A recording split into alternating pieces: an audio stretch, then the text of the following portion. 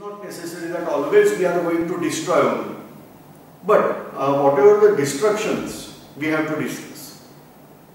For our interaction, our early life was something different. When we were living like ancient man, somewhere 10,000 or 15,000 years ago, at that time our technology was not that advanced to damage our environment. We were using fire, but not that to extent that the environment is damaged because of our use of that fire. But after certain period, and most important thing after industrial revolution, we start using tremendous energy. As a result, use of energy increased and the pollution generated from that, that also started increasing out, affecting uh, not only pollution but several factors responsible for this uh, energy gaining. Several factors are there. They are responsible for degradation of this environment. And therefore, we are focusing out first on energy topic that is used. Now, in order to get energy, the simple thing I should explain here that plants are sources of energy. You are aware that uh, carbon dioxide, which is now we are calling as pollutant in atmosphere, but uh, it is really required for our life. So carbon dioxide that is combining with water in presence of sunlight and chemical that is called as chlorophyll we are getting a simple compound that is simple sugar that is C6H12O6 plus oxygen is released in this process. Now whatever sunlight we are calling this is actually energy. So mark here important thing. This reaction is no, not at all balanced reaction because instead of that number I should prefer that keep in mind the name of compounds in this part. So carbon dioxide that is combining with water and uh, in presence of sunlight and chlorophyll to get C6H12O6 that is called as simple sugar or uh, usually we are calling this as glucose plus water uh, plus oxygen molecule is released. In childhood we were thinking like that plants are absorbing carbon dioxide and releasing out oxygen. But keep in mind this oxygen is not released out from carbon dioxide. This oxygen is released out from water molecule. Try to recollect Hill's process in photosynthesis part or rather I should uh, recommend here that go through this uh, part of photosynthesis, you will get that uh, water molecule is obtained from, uh, sorry, oxygen is obtained from water molecule. And by knowledge of radioactivity, by using radioactive water containing oxygen as radioactive element, it is proved that water is undergoing dissociation and we are getting splitting of water and oxygen molecules are released out from water here. Now this is very very basic reaction. Whatever the glucose or C6H12O6 is formed, that is converted into different forms of chemical.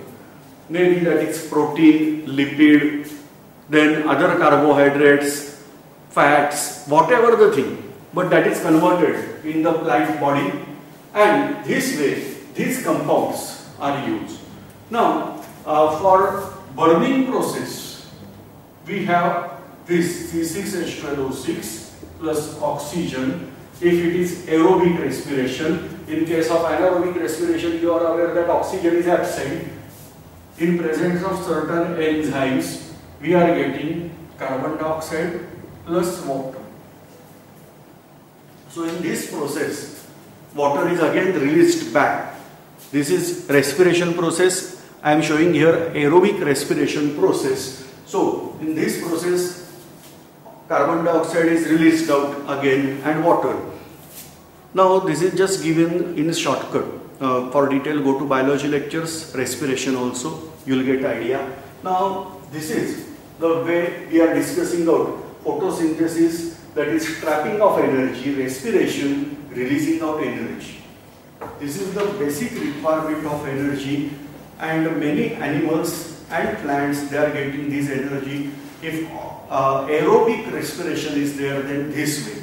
In case of anaerobic respiration, this glucose, whatever the sugar or glucose part that is converted into either C2H5OH that is ethyl alcohol. CH3COOH that is acetic acid or in some time lactic acid or whatever depending upon type of sugar. Suppose lactose sugar is there then lactose sugar is converted into lactic acid. Then ordinary sugar is there then glucose is there it is converted into acetic acid. So like that products are formed. These molecules are also energy rich molecules because entire energy is not released this is only one step energy release anyway so this is the way energy is produced in human body or animal body. But uh, we required external energy also. Now in old days, I don't know when, but we are saying that millions years ago, tremendous changes happened on the surface of.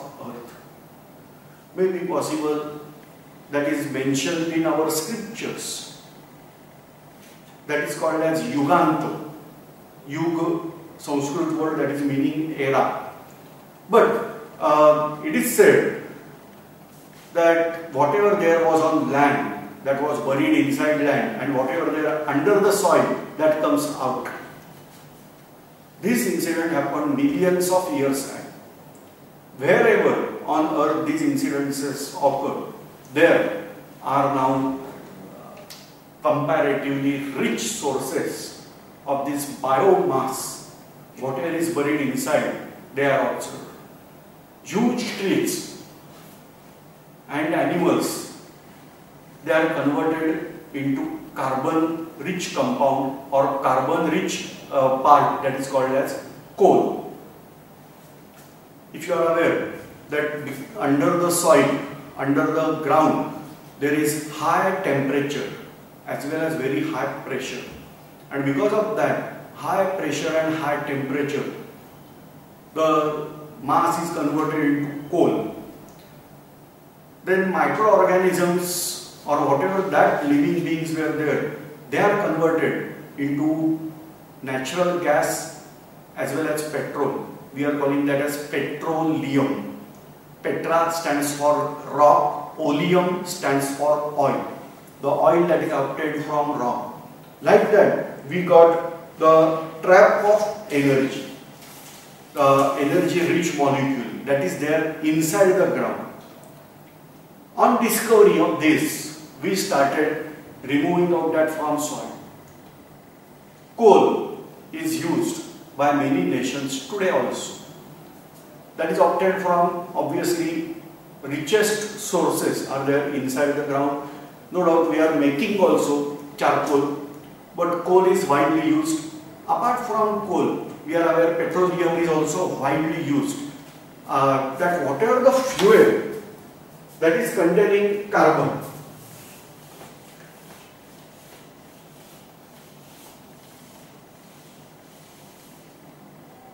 say for example, we are talking of carbon or coal.